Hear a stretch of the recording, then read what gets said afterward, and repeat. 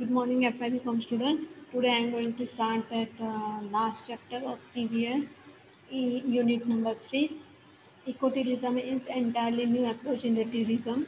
It involves the travel to the nature areas to appreciate the cultural and natural history of the environment in such a way that care is taken not to disturb the integrity of the ecosystem while creating the economic opportunities that make conversion conservation and protection of the natural resources advantages to the local people. In the other words, ecotourism an integrated program that nature-based and ecological sustainable, sustainable where education is integrated, interpretation is a major constituent and where local people are benefited.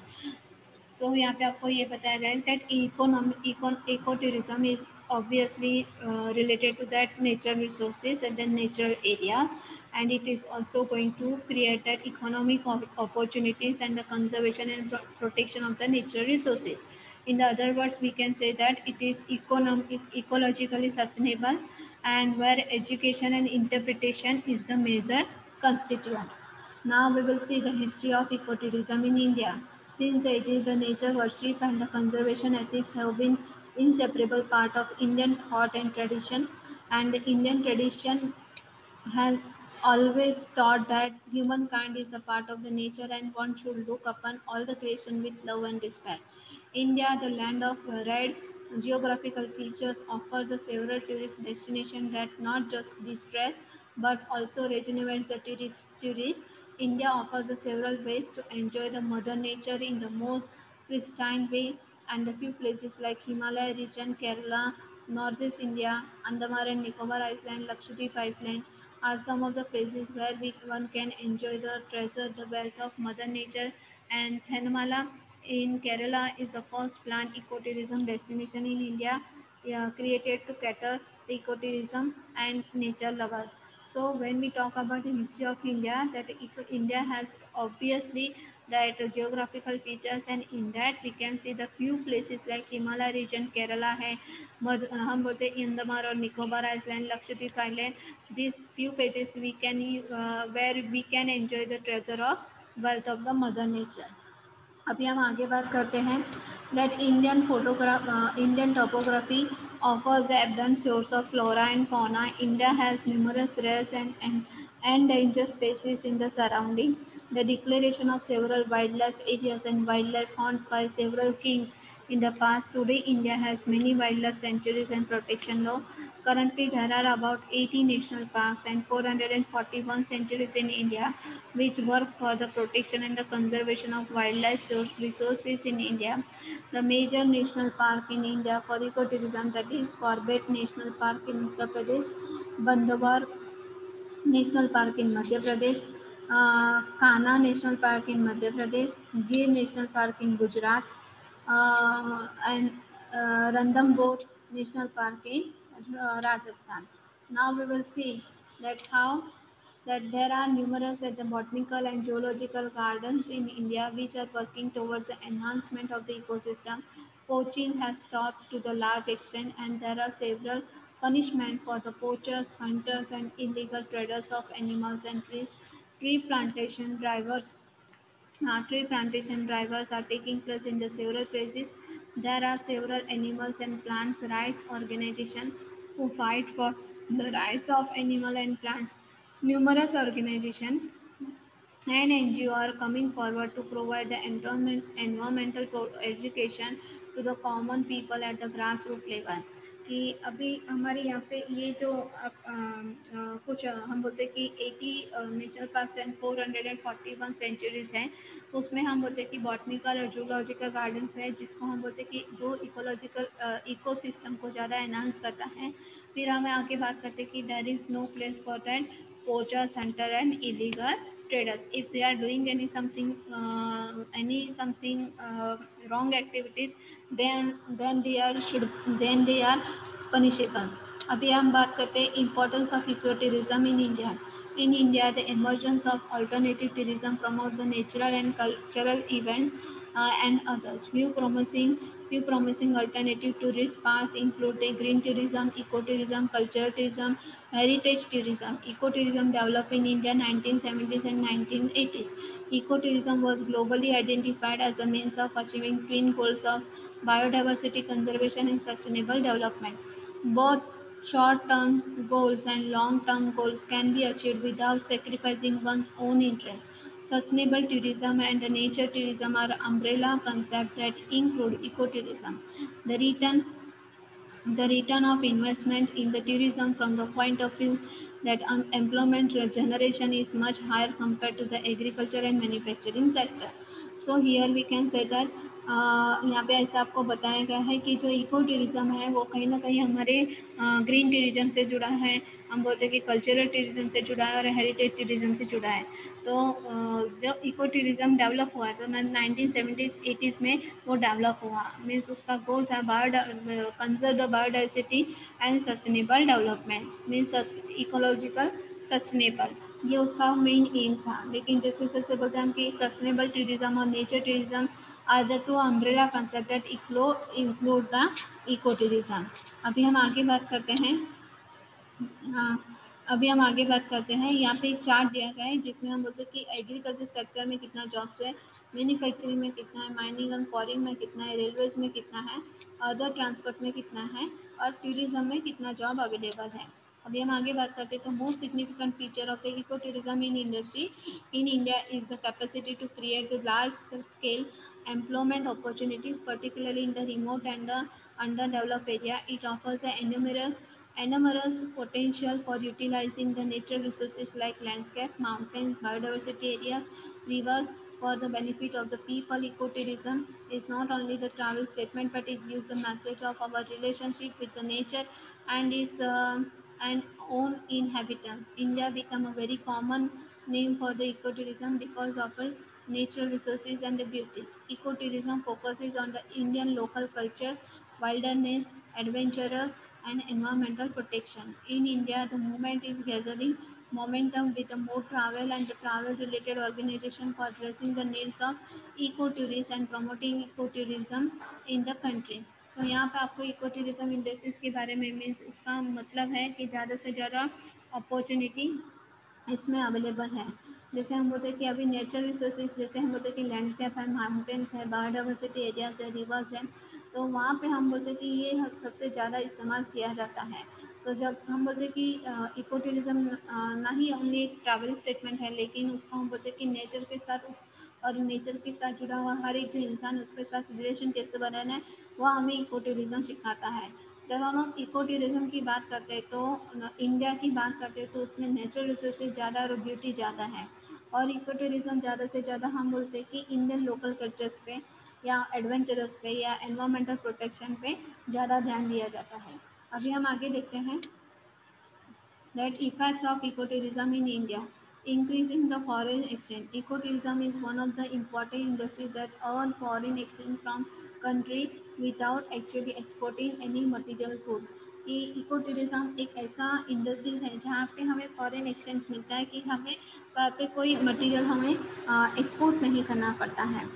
Then next point is to help in the development of infrastructure facilities development and improvement of infrastructure facilities are the another important benefits offer by the eco tourism in industry that variety of secondary industries may be promoted by which may be promoted which may not serve the needs of eco tourism Thus, indirectly tourist expenditure may be responsible for stimulating other economic activities of the country. So, eco tourism को develop करने के लिए तो यहाँ पे infrastructure facility की ज़रूरत होती है और ये हमें uh, जैसे बोलते कि जितना भी हम uh, इतना इस ये जो है कि इको इको टूरिज़म है तो हमें सिर्फ़ ब्यूटी या हम बोलते कि लोकल कल्चर्स नहीं, लेकिन हम बोलते कि इको टूरिज़म के जो नीड्स हैं, वो भी ये इंडस्ट्रीज़ हमें देती है। अभी हम बोलते हैं कि जो टूरिस्ट एक्सपेंडिचर है, वो भी हम बोलते हैं कि टूरिस्ट एक्सपेंडिचर किस पे निर्भर करता है कि जैसे इकोनॉमिक एक्टिविटीज़ होती है कंट्री की, उसके लिए टूरिस्ट एक्सपेंडिचर उस पर निर्भर करता है। To help in the balance in the regional development. Tourist development greatly benefits underdeveloped regions of the country and these economically backward regions mostly have the places of high space, high scenic beauty which is developed for the ecotourism industry will help you to bring a lot of prosperity to the local people. So ecotourism eco tourism का आपको क्या काम क्या दिया गया कि eco tourism का अपना मतलब ये होता है कि जैसे हम बोलते हैं कि टूरिज़्म हम बोलते हैं कि जैसे बोलते हैं इकोनॉमिकली बैकवर्ड क्लासेस हैं वहाँ पे जहाँ पे ये इको टूरिज़्म इंडस्ट्रीज़ लगाया गया हम बोलते हैं कि जो सीनिक ब्यूटीज है तो उसकी वजह से उसको एक बढ़ावा मिलता है टूरिज़्म इंडस्ट्रीज़ के लिए। तो जिसकी वजह से हम बोलते हैं कि लोकल ट्रिपर में प्रॉस्परिटी आ सकती है। आगे हम बात करते हैं to help in the generating employment Tourism industries is highly labor-intensive service industries that generates the employment for high-skilled, semi-skilled and unskilled labor in the sectors hotels, restaurants, travel agency, tourism offices, officer shops.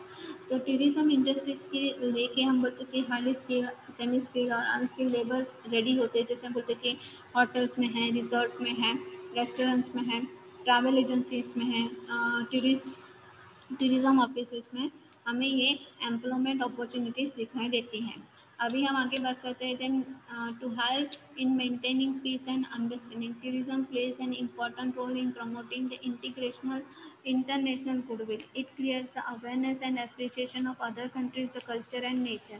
The fundamental required for ecotourism to be practiced is control on the access, uh, access on the area.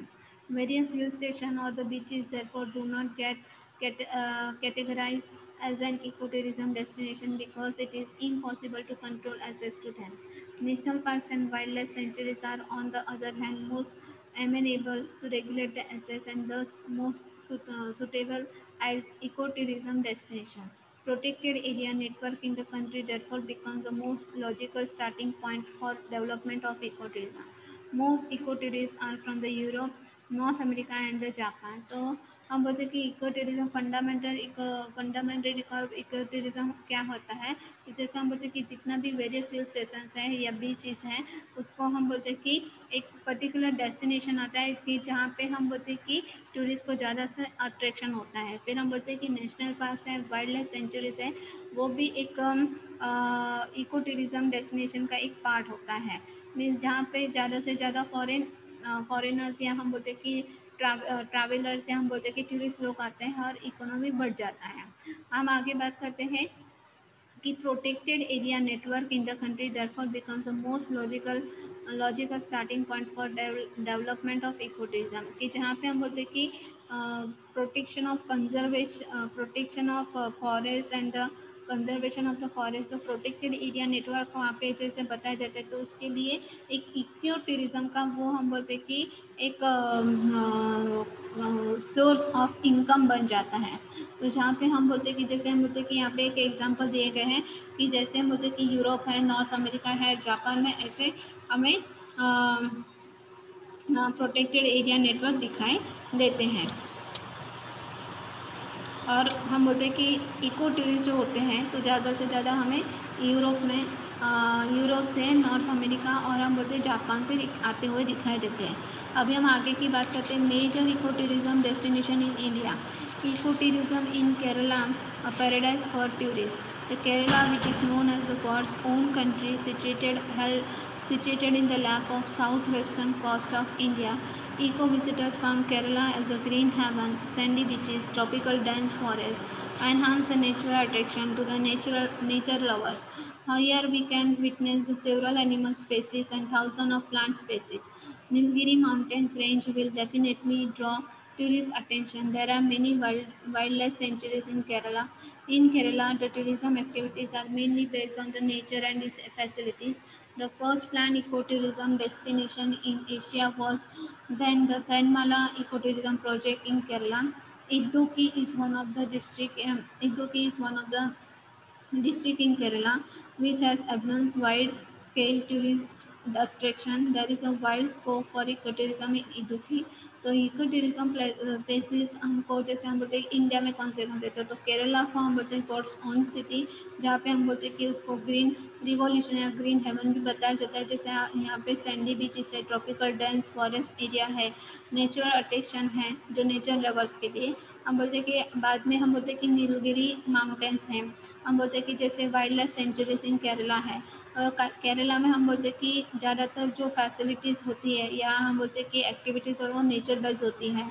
तो केरला को, केरला में जो आया हुआ चैन माना, उसको first इकोरिक tourism destination की तौर पे उसको इंडिया में उसको उस प्रोजेक्ट को दिखाया गया है।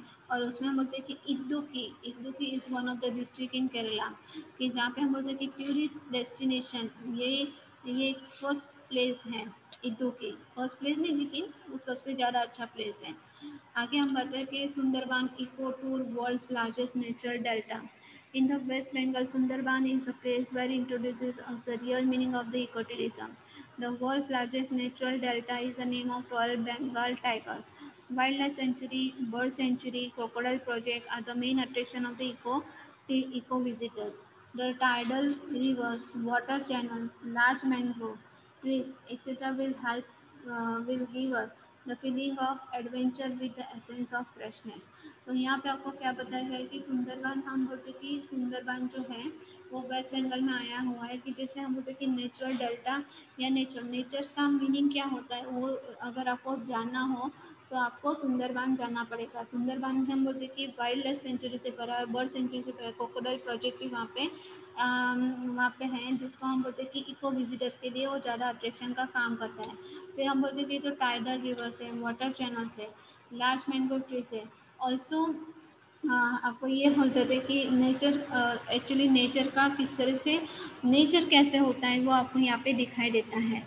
हम बोलते हैं कि आगे देखते हैं कि mangrove swamp in the south of West Bengal is the place where royal Bengal tigers row कि हम बोलते कि मैनग्रोव स्वैम्प है, जो हम बोलते कि जहाँ पे रॉयल बंगाल टाइगर्स हमको दिखाई this majestic cats big cats are the fascinating beautiful and extremely dangerous तो रॉयल टाइगर बेंगल्स की हम बात करते हैं तो उसको हम बोलते हैं कि बिग कैट को भी, उसको बिग कैट के नाम से जाना जाता है। तो एक्चुअली दिखने में बहुत अच्छे होते हैं, लेकिन उतने ही डेंजर होते हैं।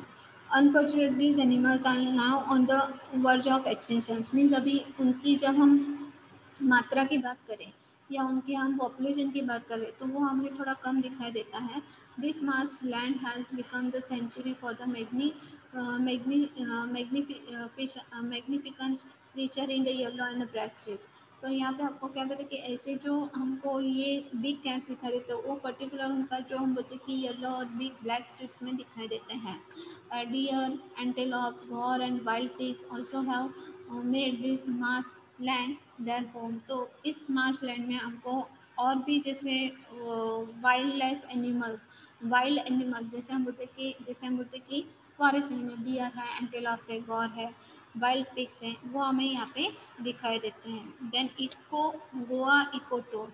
Goa is the place where visitors can have the real feeling of enjoyment on with the package of eco tourism Goa is the combination of the natural resources and our rich heritage the churches temples monument forts will tell us the story of history and the beaches uh, and the beaches wildlife national park will also introduce us the natural magic of goa.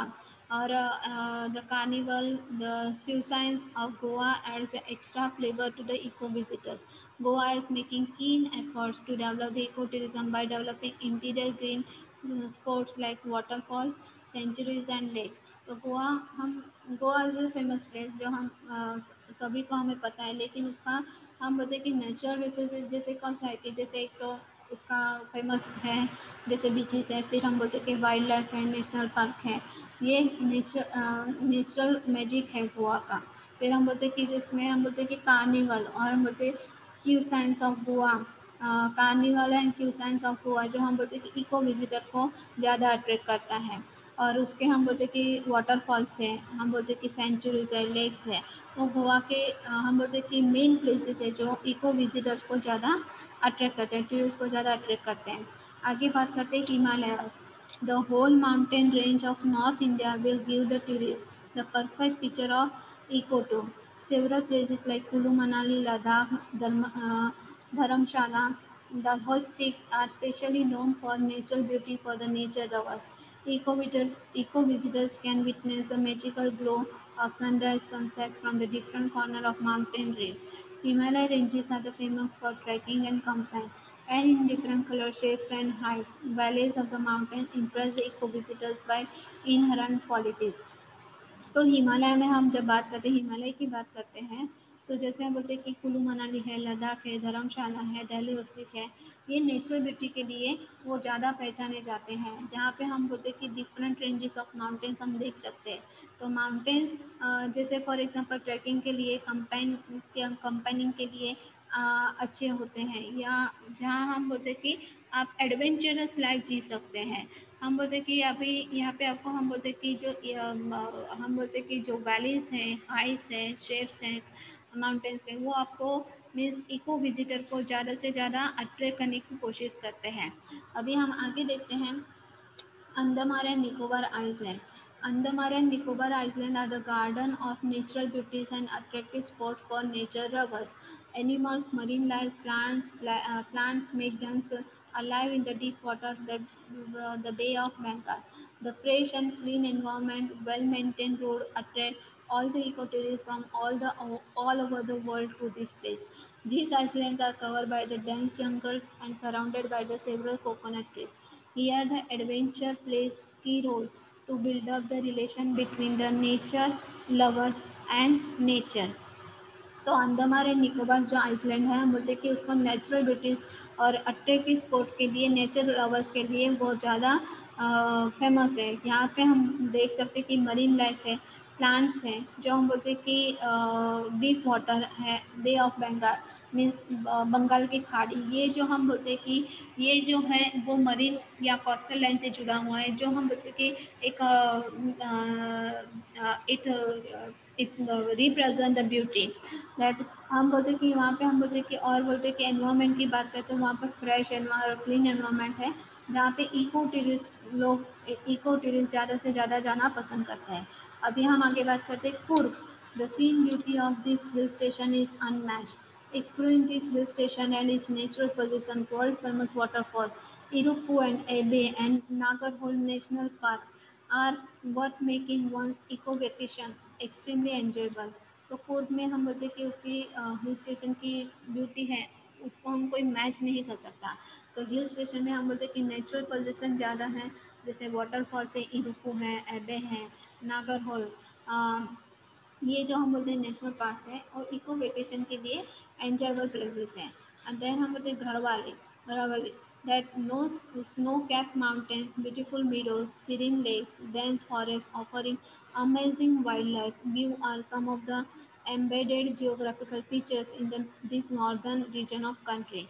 तो उसके हम आगे जब snow cap mountains की बात करते हैं beautiful meadows की बात करते हैं लेक्स की बात करते हैं डेंस फॉरेस्ट की बात तो ये एक नेचुरल ब्यूटी है जो जियोग्राफिकल फीचर्स भी हमको दिखाए नॉर्दर्न रीजन्स में geographical features दिखा देते हैं then Kodai Canal the whole beauty of small places assemble the beauty of untouched serene and virgin lakes and caves and which is full of offering diverse range of eco adventures तो Kodai canal जहाँ पे हम बोलते हैं कि lakes और caves virgin lakes और caves हैं हम बोलते हैं कि उसकी beauty it is amazing and uh, which is offering that uh, range of eco adventure और अब हम आगे आगे बात करते हैं Sikkim with the joy of trekking in the second highest peak of the world that Kanchenjunga exploring the rhododendron track and beautiful land of orchid sikkim is unmatched anywhere in elsewhere in the world. तो सिक्किम का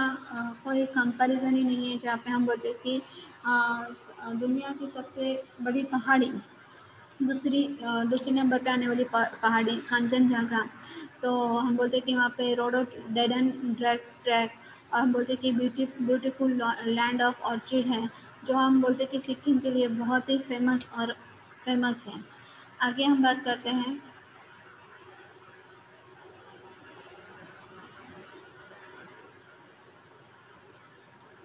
Shimla. Fine opportunity to enjoy excursion like oak and rhododendron forest exploring the skiing and ice skating and Himalaya ice, uh, sightseeing make this small hill station one of the most favorite vacationing spot for domestic as well as international tourism. तो शिमला और कुल्लू मनाली ये नाम हमारे ज़ुबान पे आ, हमेशा रहते हैं कि जो हम बोलते हैं कि जहाँ पे हम बोलते हैं कि ऑफ़ ऑफ़ है one kind of the trees और रोडोडेंड्रॉन फॉरेस्ट ये भी एक टाइप का जो ट्री है मीन्स ये पूरा जो एरिया है शिमला का ये इस पेड़ों से भरा हुआ है फिर यहाँ पे हम बोलते हैं कि आइस स्केटिंग भी है हम बोलते हैं कि हिमालय जैसे बोलते हैं कि सी साइट या साइट सीइंग ऐसे आ, आ, हमें हिमालयन सी साइट सीइंग जो है कि जो इस हिल स्टेशन की एक हम बोलते हैं कि one of the most beautiful feature है तो इसकी वजह से इको टूरिस्ट हमें यहाँ पे ज़्यादा दिखाई देते हैं। देन हम बोलते हैं आगे बात करते हैं then we will talk about the कॉर्बेनेट Corbett National Park. Corbett National Park is the first its kind of in India. The beautiful sanctuary at the foothills at the Himalayas and flourishing place for flora and fauna. The Mm, uh, Corbett National Park is only one for 145 km away from the Lucknow and 51 from the Ramnagar. This 201 uh, square mile park is plenty of deer and wild wild boars with the 110 species of trees, 50 species of mammals, 580 species of birds. The park is ultimate ecotourism destination for all animal lovers across the world. The Corbett National Park हम बोलते हैं कि किसके लिए तो उसके, हम बोलते हैं कि, यहाँ पे हम बोलते हैं कि सेंचुरी ये सेंचुरी हिमालय के फुट हिल पे आया हुआ है, जहाँ पे हम बोलते हैं कि हर टाइप के फ्लोरा और फोना देख सकते हैं जहाँ पे हम बोलते हैं कि कॉर्बेट नेशनल पार्क के एक सौ पैंतालीस किलोमीटर लखनऊ से दूर है और फिफ्टी वन किलोमीटर रामनगर से दूर है। जहाँ पे हम बोलते हैं this two hundred and one square kilometre one square mile park is plenty of deers and wild birds ये हम लोग पूरा डियर और वाइल्ड बोर्ड से भरा हुआ है, जहाँ पे हम बोलते कि one hundred and ten species of trees जहाँ पे 110 प्रकार के पेड़ों की प्रजातियाँ दिखाई देती है पचास मैमल्स दिखाई जाते नंबर मैमल्स की प्रजातियाँ दिखाई देती है और हम बोलते हैं कि फाइव हंड्रेड एंड पक्षियों की प्रजाति हमको यहाँ पे दिखाई देती है। अभी हम आगे बात करते हैं तो Chennai crocodile bank Chennai crocodile bank shelter seven species of crocodile that occupying area of three hundred twenty two twenty one hectare this is also the largest crocodile breeding centre in India located in forty two kilometre away from the coast of Chennai And Century plays host to the number of Indian and African crocodiles and alligators. This bank produces more than 6,000 crocodiles. There is also the large reserve of the venomous and non-venomous snakes, and this fears um, some predat- predators need the wilderness to flourish, and this is just a place that is perfect for the habitation. The crocodile bank is 35 kilometers south of Chennai and is situated beside the scenic East Coast Highway. तो crocodile bank हम बोलते हैं कि crocodile यहाँ पे चेन्नई को एक crocodile bank की तरह, जहाँ पे हर एक टाइप की क्रोकोडाइल सेवन स्पेसिस हम बोलते हैं कि seven seven species of crocodile we can see और किस, हम बोलते हैं कि three hundred and twenty one hectare में वो फैला हुआ है, जहाँ पे हम बोलते हैं कि छः हज़ार से भी ज़्यादा क्रोकोडाइल्स यहाँ पे प्रोड्यूस किए जाते हैं, जिसमें alligator African crocodiles Indian crocodiles वो भी हैं, और हम बोलते हैं यहाँ पे वेनमस मीन्स हम बोलते हैं कि विषारी और हम बोलते हैं कि हर एक टाइप के जैसे जहरी और जहरी ना हुए, जहरी जो जहरी नहीं है, इस टाइप के हमें सांप यहाँ पे दिखाई देते हैं। आगे हम बात करते हैं promoting eco tourism in India तो key players in eco tourism business are the government local authorities, developers and operators, visitors and local community. Each one of them has to be the sensitive to the environment and the local tradition and follow the set of guidelines for the successful development of ecotourism. So यहाँ पे means in India the government organization and scientific and the research institution also have played the key role in the development of ecotourism. Special offers uh, of, uh, special officers have been designated to coordinate the activities regarding ecotourism. तो यहाँ पे हम बोलते हैं कि eco tourism business जो हम बोलते हैं कि ये इको टूरिज़्म के प्लेसेस है इको टूरिज़्म बिज़नेस बन चुके हैं जहाँ पे हम बोलते हैं कि लोकल अथॉरिटी डेवलपर्स होते हैं ऑपरेटर्स होते हैं विजिटर्स होते हैं लोकल कम्युनिटी के तो उसके साथ साथ हम बोलते हैं कि गवर्नमेंट भी उनके साथ काम करती है और हम बोलते हैं कि उसको आगे बढ़ाने के लिए each one of them has to be the sensitive to the environmental local tradition and follow the set line set guidelines for the successful development of eco तो इको टूरिज़्म को मेंटेन करने के लिए उसको डेवलप करने के लिए जितना भी गाइडलाइंस दिए जाते हैं लोकल ट्रेडिशंस हैं उसको सब मेंटेन करने का काम करते हैं अभी उसके साथ साथ गवर्नमेंट ऑर्गेनाइजेशन और scientific science and research develop research development है वो भी इको टूरिज़्म के लिए काम करता है। जैसे हम बोलते हैं कि स्पेशल ऑफिसर्स यहाँ पे डिज़ाइन किए जाते हैं इको टूरिज़्म को इको टूरिज़्म एक्टिविटीज़ के लिए। आगे हम बात करते हैं तो forest and tourist department state like Karnataka Kerala Sikkim Rajasthan Andhra Pradesh how specifically announce the policy for the development of eco tourism line special emphasis to the involvement of the local communities कि जहाँ पे हम बोलते हैं कि forest tourist tourist department की बात कर रही थी तो स्टेट से स्टेट है, जैसे बोलते कर्नाटका, केरला है सिक्किम है, राजस्थान है, आंध्र प्रदेश है तो आंध्र प्रदेश है तो ये आपको, हमें आपको यहाँ पे जैसे फॉर एग्जांपल ये जो स्टेट है तो ज़्यादा से ज़्यादा वो हम बोलते कि जो लोकल कम्युनिटीज़ हैं, या हम बोलते कि इको टूरिज़्म के लिए ज़्यादा से ज़्यादा काम करते हैं the management plan for eco tourism are should be prepare are should be prepare by the professional landscape architect urban planners in the consultation with the local committee as well as the other directly concern कि अभी eco tourism को develop करने के लिए eco tourism plan को develop करने के लिए, उसको मैनेज करने के लिए तो कौन चाहिए? तो प्रोफेशनल लैंडस्केप आर्किटेक्ट चाहिए, फिर हम बोलते कि अर्बन प्लानर्स चाहिए, जो हम बोलते कि लोकल कम्युनिटी के लोकल कम्युनिटी से मिलके वो काम कर सकें। आगे हम बात करते हैं integrated planning should be adopted integrated planning should be adopted to avoid intersectoral or cross-sectoral conflict.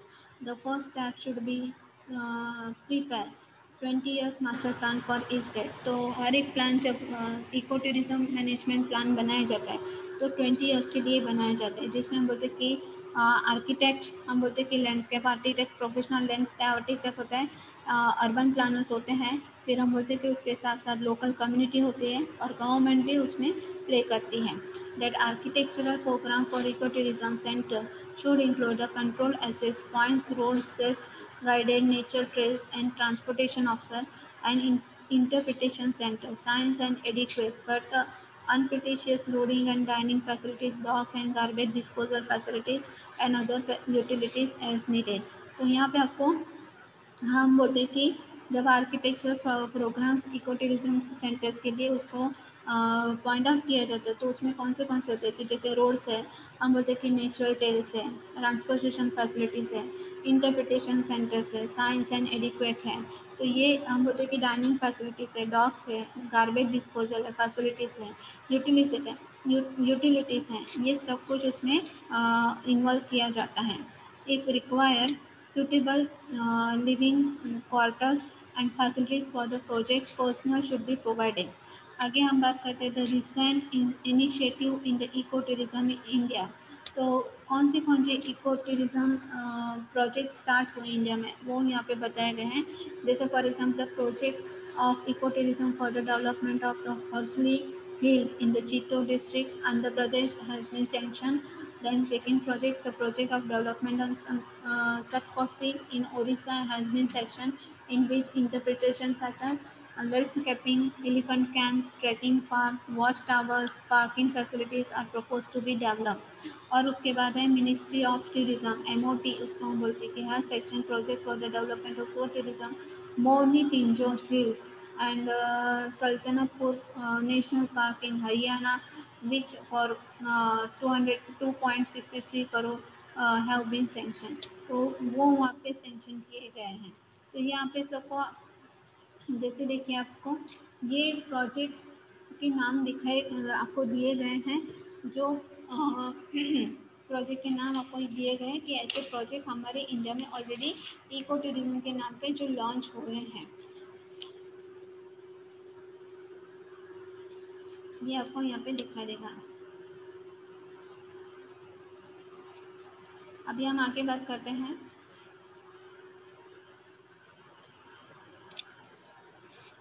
The National Ecotourism Policy and Guidelines. The National Ecotourism Policy and Guidelines of the Ministry of Tourism after uh, understanding the national policy on the tourism has identified therefore following the cardinal principles. It should involve the local community and lead to the over economic development of the area. तो यहाँ पे आपको local community के साथ साथ हम बोलते हैं कि ओवरऑल इकोनॉमिक डेवलपमेंट एरिया कैसा होगा कि वहाँ पे वो भी आपको इको टूरिज़म पॉलिसी वो दिखाता है। क्योंकि जहाँ पे हम बोलते हैं कि टूरिस्ट ज़्यादा आएँगे तो उस हम बोलते हैं कि उस एरिया को भी इकोनॉमिकली इतना ही डेवलप करना पड़ता है। और ये जब इतना इकोनॉमिकली डेवलप होता है तो ऑब्वियसली इकोनॉमिक इकोनॉमी में बढ़, बढ़ती होती है। It should be identified, identify the likely the conflicts between the resources for the tourism and livelihood for the local inhabitants and attempt to minimize such conflict. तो जैसे हम इस हम बोलते हैं कि जब उस, इसको इस पॉलिसी को हम इस्तेमाल करते हैं तो वो आपको क्या बताते हैं conflict between the resources for tourism tourism के लिए जितना रिसोर्सेज इस्तेमाल किया जाता है वो, और हम बोलते कि वो उसके साथ उसके साथ उतना भी खर्च होता है, और लेकिन लोकल कम्युनिटी का भी उतना ही उसमें योगदान होता है, क्योंकि ज़्यादातर वो सबसे पहले लोकल कम्युनिटी के लिए इस्तेमाल होना चाहिए। आगे बात करते हैं। Then the type and scale of tourism development should be compatible with the environment and socio cultural characteristics of the local community कि हम बोलते कि टूरिज़्म डेवलपमेंट के लिए हम बोलते कि टूरिज़्म टूरिज़्म डेवलपमेंट के एनवायरमेंट और socio cultural characteristics a local community relief of harm cover. It should be planned as a part of overall area development strategy guided by an integrated land use plan while avoiding the intersectional conflicts and ensuring the sectoral integration and associated with the common shorted expansion of the public service तो यहाँ पे आपको क्या बताया गया है कि जैसे हम बोलते हैं कि it should be plan as a part of overall area की डेवलपमेंट स्ट्रेटेजी ओवरऑल प्लाट दिखाया गया है। फिर हम बोलते हैं कि इंटीग्रेटेड लैंड किस तरह से उसको इस्तेमाल करना है और हम बोलते हैं इंटरसेक्शनल जो कॉन्फ्लिक्ट है, उसको किस तरह से कम करना है। ये वहाँ पे नेशनल इको टूरिज़्म पॉलिसी वैसे ही काम करते हैं। So we should be stop here and we shall continue tomorrow